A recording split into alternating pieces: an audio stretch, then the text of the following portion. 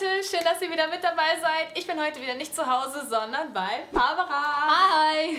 Und wir haben heute ein ganz cooles Video für euch und zwar... Wir machen einen Back-to-School-Haul und wir haben beide einen Rucksack gefüllt mit jeder Menge Sachen, die ihr gewinnen könnt. Richtig, wir gehen zwar beide nicht mehr in die Schule, sind wir mal ganz ehrlich, ne? Aber. Echt jetzt? Echt jetzt? Aber äh, so viele von euch haben sich einfach Back-to-School-Videos gewünscht und ich dachte mir, komm, äh, machen wir einfach nochmal so ein Video wie letztes Jahr. Das kam super bei euch Ja. an und es ist halt auch immer sehr cool, wenn wir euch was gewinnen lassen können. Sagt man Ja, genau. so? Gewinnen lassen können? Ja, Ihr könnt oder? auf jeden Fall was gewinnen. Richtig, ja. Also, Ja, also hier sind die beiden Rucksäcke, die wir äh, ja, unabhängig voneinander uns geholt haben und wir mussten beide ein paar Aufgaben sozusagen lösen, indem Genau. wir die passenden Produkte dazu shoppen. Das werdet ihr dann gleich sehen.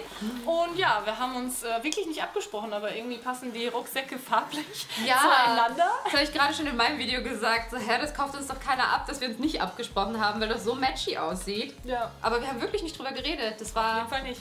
Karma. Irgendwas, eine Verbindung zwischen uns, die ihr nicht sehen könnt. Und wir auch nicht. Egal. Ähm, Okay, wird langsam ein bisschen weird.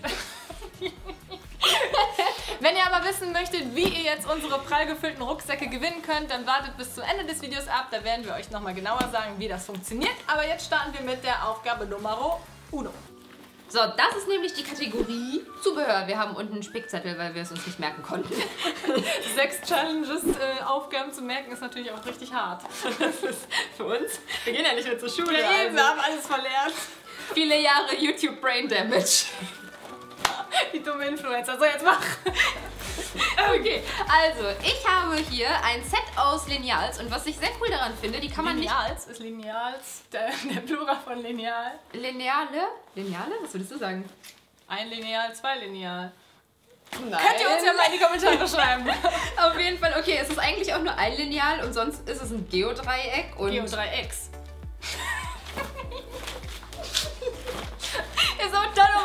Freundin damit zu verprügeln. Nein, aber das Coole ist, man kann die nicht durchbrechen. Das ist so ein Soft-Irgendwas-Material, steht hier drauf. Und äh, du kannst es ganz flexibel, ja, Das krümmen in deinen cool. Rucksack tun, was auch immer. Ich habe äh, einige Lineale in meinem Lineals, was auch immer, in meinem Messgeräte, in meinem Leben zerdeppert. Oh ja. Ja. ich auch. Besonders wenn man die immer einfach so in seinen Ranzen rein äh, schmeißt, dann ist immer irgendwo eine Ecke abgebrochen. Deswegen ist das sehr, sehr, sehr gut. Shatterproof. Cool. So, ich habe ähm, ja was irgendwie weniger spektakuläres, aber auch sehr nützliches. Und zwar ist das so ein äh, Locher, den man, den man in seinen Ordner rein ein Taschenlocher. kann. Taschenlocher heißt es. Ja, den kann man ja ein, einhängen in seinen Ordner. ja stimmt. Weißt du, wie ich meine? Also das ist immer cool, dann hat man nämlich immer auch äh, sein Locher dabei, weil irgendwelche Lehrer ja immer so Zettel rausgeben, die ungelocht sind und dann kann man das schnell nachholen und dann ist man organisierter. Und es passt farblich zum Rucksack. Oh wow, stimmt. Und Leute, falls wir irgendwie ein bisschen durch aussehen oder leicht äh, glänzend, ist es so, dass wir hier gerade bei bestimmt 40 Grad in einem Büro und Milo ist gerade am Bellen drehen und wir können schon kaum noch. Und, äh, Nachbarshund gehört. Yep. so, wir machen jetzt weiter mit Kategorie Nummer 2 und das ist etwas zu kaufen, was super für Organisation ist. Ja, die Deutsch? Kategorie mochte ich. Das Ich war auch, Deutsch. ich auch, ja. Organisation ist immer gut. Ich liebe es, Dinge zu organisieren, auch wenn ich nicht Fall. der organisierteste Mensch bin. Das ist ein bisschen paradox, aber Und da habe ich auch direkt etwas gekauft, was jetzt vielleicht nicht äh, dafür da ist, um das mit in die Schule zu nehmen, aber für zu Hause finde ich sowas immer super. Voll cool. Und zwar ist das ein äh, Whiteboard, nennt man das, glaube ich. Ja. So ein Weekly Planner. Da könnt ihr einfach immer eure komplette Woche äh, drauf planen und dann für die nächste Woche das wieder wegwischen. das ist Und richtig dann hat man gut. einfach so alle Termine im Überblick und weiß einfach so, okay, da habe ich dann Zeit für das und so. Also ich finde das immer sehr gut. Das macht bei mir immer so ein bisschen den Kopf frei, wenn Ja. ich so meine ganzen Termine aufschreiben Ja. kann. Deswegen, yay. Erschlag mich damit. da kommt die Rache. Meins geht eigentlich in eine ähnliche Richtung. Das ist aber jetzt halt ein Hausaufgabenheft, kennt jeder, ist ziemlich selbsterklärend. Ich finde es schon irgendwie notwendig, weil. Das gehört nicht dazu. Stimmt, das war unser Post-it, mit dem wir uns notiert haben, was zu welcher Kategorie gehört. Ja, aber ein Hausaufgabenheft, äh, ja, sehr Ja, wichtig. genau. Muss man immer dabei haben. Fächer kann man hier auch so eintragen und die Stunden und so. Ich schätze. Ja, ich Uh. Jo. Ich behalte den Planer, ich brauche den zum Cool, das Bilden. hat sogar eine Hülle schon. Stimmt. Fällt mir jetzt erst ein. Ja. Eine man mal gebrauchen. Könnt ihr mal in die Kommentare schreiben, ob ihr sowas nutzt. Also ich habe es immer genutzt, aber Ich habe das Ding immer zu Hause vergessen, das weiß ich noch ganz genau. ja, jetzt holt mal bitte eure Hausaufgabenhefte raus. Ich so, nee, das ähm, jedes Mal. die dritte Kategorie war es, schöne College-Blöcke zu finden. Und ich finde, das war ziemlich einfach. Also es gab so eine gibt's große immer Auswahl. ja.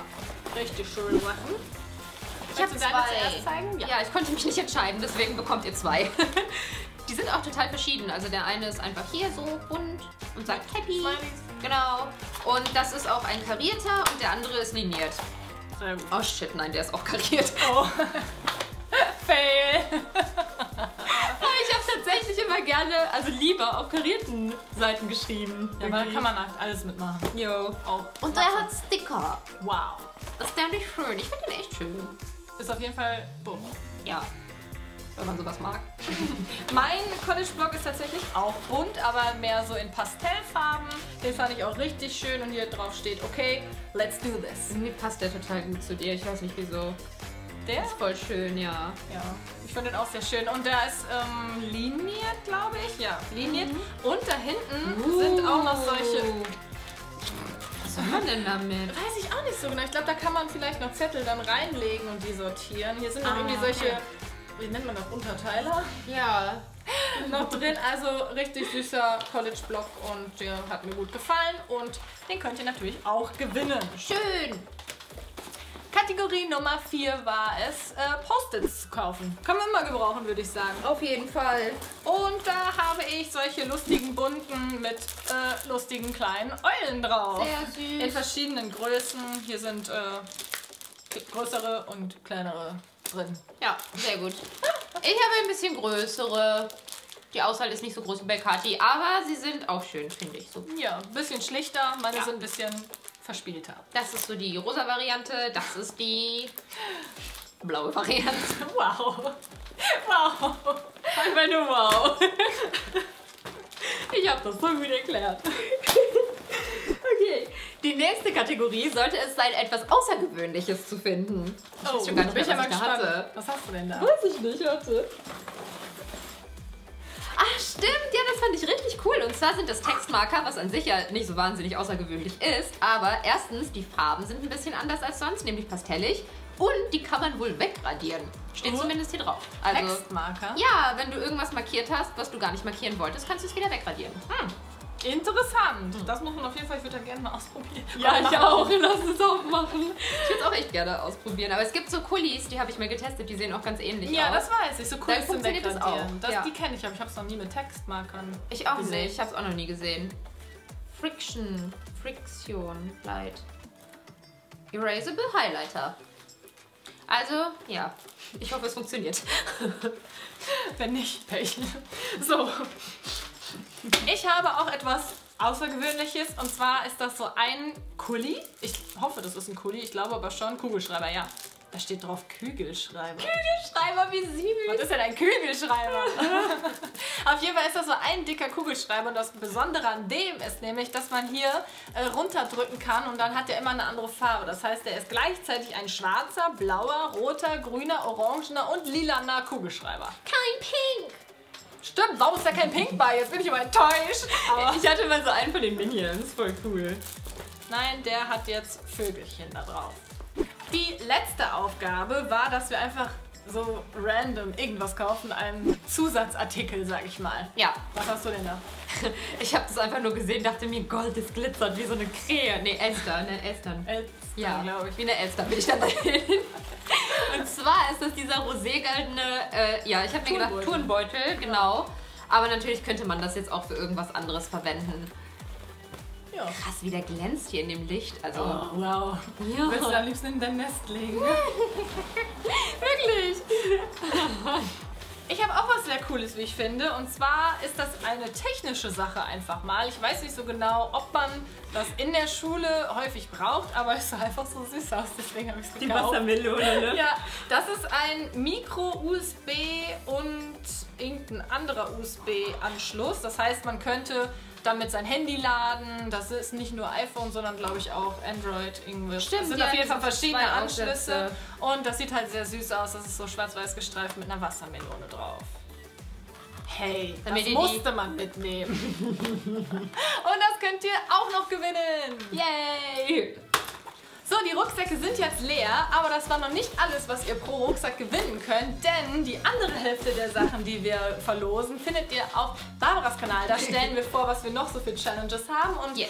falls ihr nicht gerade sowieso schon von Barbaras Video kommt und es noch nicht gesehen habt, dann klickt auf jeden Fall jetzt mal in der Infobox und vielleicht auch irgendwie hier, wenn ich das eingeblendet kriege. Auf jeden Fall wird ihr Video irgendwo verlinkt sein und auch ihr Instagram-Kanal, denn dort werden wir unsere Rucksäcke verlosen. Yay! Das haben wir letztes Jahr auch schon gemacht und es ist super bei euch angekommen. Deswegen wollten wir es dieses Jahr einfach auch nochmal wiederholen und euch was zurückgeben. Und ja, Genau, also folgt uns auf jeden Fall auch auf Instagram, damit ihr die prall gefüllten Rucksäcke, und nein, das hört sich nicht zweideutig an, gewinnen könnt. natürlich, euch haben unsere Videos gefallen. Wenn dem so ist, hinterlasst gerne einen Daumen nach oben und dann können wir so einen Back-to-School-Haul auch nochmal nächstes Jahr drehen. Ja. Ich meine, why not? Es macht immer Spaß, euch einfach was zurückzugeben. Und dann sehen wir uns mit einem neuen Video auch ganz bald wieder. Ciao.